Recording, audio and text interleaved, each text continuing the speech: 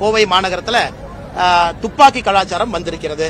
துப்பாக்கி வாயில வச்சு சுடுறது மூளை சிதறுவது அதுக்கப்புறம் எஸ்பி ஆபீஸ் பக்கத்துல ஓட ஓட வெட்டுறது திருவண்ணாமலையில் திருவண்ணாமலையில நாலு ஏடிஎம்ல 72 ரெண்டு லட்சம் ரூபாய் கொள்ளையடிக்கிறது ஒன்பது இடத்துல தமிழ்நாட்டில் மர்டர் நடக்கிறது. இதெல்லாம் தமிழகத்துக்கு ரொம்ப புதுசா இருக்கு. அது என்னதான் முதலமைச்சர் அவர்கள் கனவு வாழ்ந்தாலும் கூட கோயம்புத்தூர் மாநகரத்தில் இது நடந்திருப்பது நம்முடைய தலைவர்கள் யாரும் ஏற்றுக்கொள்ளவில்லை. துப்பாக்கி வந்திருக்கு இப்பதான் வெடிகுண்டு வந்துட்டு போச்சு. வெடிகுண்டு வந்துட்டு போய் மூணு மாசத்துல துப்பாக்கி வந்திருக்கு.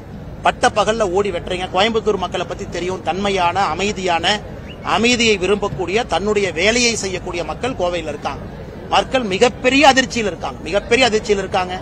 இதையெல்லாம் பாக்குற மந்திரி வந்து ஏதோ ஒரு இடத்துல யாருக்கு பணம் கொடுக்கலாம் யாருக்கு வேட்டி செல்ல கொடுக்கலாம்னு அவர் சுத்திட்டு இருக்காரு. கேட்பார் கூட இல்ல. இங்க வந்து கமிஷனர் எஸ்பி ரிவ்யூ மீட்டிங் எடுத்து என்ன நடக்குது என்று கேட்பதற்கு கூட ஒரு அமைச்சர் எட்டி பார்க்கல. அதுவும் கூட மிகப்பெரிய வருத்தத்துல கோயம்புத்தூர் மக்கள் இருக்காங்க. அதையும் பத்திரிகை நண்பர்கள் நீங்கள் பார்த்து கொண்டிருக்கின்றீர்கள் செய்தி போட்டுட்டு இருக்கீங்க எந்த அளவுக்கு சட்டம் ஒழுங்கு சீரழிந்திருக்கிறது என்பதற்கு உதாரணமாக இந்த நடந்த நிகழ்வுகளை நீங்க பாக்குறீங்க என்பது உண்மை.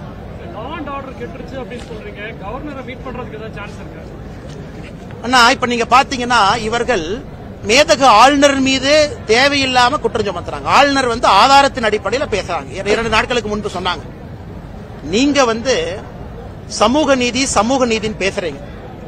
ஆனா பட்டியலின மக்கள் மீது தொடுக்கப்பட்ட குற்றங்கள் அதோடைய conviction rate less than seven percent இந்த லட்சணத்துல சமூக நீதி என்று சில கட்சிகள் இங்கே பேசுது சில டெவலப்மெண்ட் மாடலை மக்களுக்கு காட்டுறாங்க.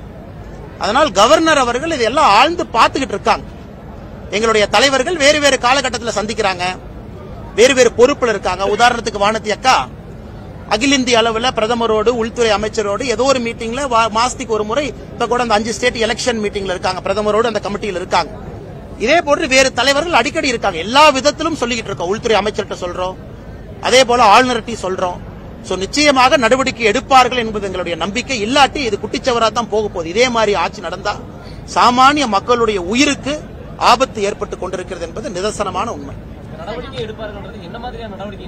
அண்ணே நாங்க எதிர்பார்க்கறது ஒன்னே ஒண்ணுண்ணே. காவல்துறையை சுதந்திரமா செயல்பட விடுங்க. போஸ்டிங் வந்து மெரிட் அடிப்படையில போடுங்க. அவர்களுக்குள்ள திமுகவினுடைய ஆட்சி இதை கொண்டு வராதீங்க. கையை கட்டி போடாதீங்க. கடுமையா நடவடிக்கை எடுங்க. கன்விக்ஷனை உயர்த்துங்க. இன்வெஸ்டிகேஷன் ப்ராப்பரா பண்ணுங்க. கோயம்புத்தூர் சூசைடு பிளாஸ்ட் மாதிரி மூடி மறைக்காதீங்க. இன்னைக்கு பதினோரு பேர்த்த கைது பண்ணிருக்காங்க அதுவும் வந்து இவங்க சொன்னது சிலிண்டர் பிளாஸ்ட்னு போய் சொல்லிட்டு இருக்காங்க. அப்படி இருக்கும் பொழுது மூடி மறைக்காம உண்மையை சொல்லி அந்த குற்றம் புரிந்தவர்களுக்கு தண்டனை கொடுங்க. துப்பாக்கியில வந்து சுட்டாங்கிற துப்பாக்கியா மறைச்சிட்டாங்க. அது மீடியா நண்பர்களுக்கு தப்பான தகவல் கொடுத்திருக்காங்க. மீடியா நண்பர்களுக்கு உண்மையை சொல்லலை. துப்பாக்கி வந்து வீட்டுக்குள்ள போய் மூணு தடவை சுட்டிருக்காங்க. மூணு காற்றிச் அந்த வீட்டிலிருந்து இருந்து கண்டெடுக்கப்பட்டிருக்கிறது. அதை காவல்துறை அதையும் மூடி மறைத்திருக்கிறது. இதெல்லாம் பண்ணா எப்படி மக்களுக்கு உண்மை தெரியும்? இதெல்லாம் பத்திரிகை நண்பர்கள் நாங்க சொல்றதுக்கான காரணம் காவல்துறை உங்களுக்கு செய்தி கொடுக்கல பொய்யான செய்தியை கொடுக்கறாங்க. நீங்க போய் கண்டுபிடிக்கிறீங்க அது ரெண்டாவது விஷயம். இருந்தாலும் அரசியல் கட்சியாக சொல்வது எங்களுடைய கடமை.